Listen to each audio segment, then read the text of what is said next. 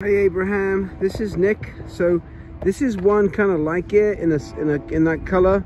It's kind of like this grayish green color. Now it's dark, so you can't really see, but it this is just the same kind. Um, I just wanted to do a quick walk around, just so you can see a little bit what the color is like.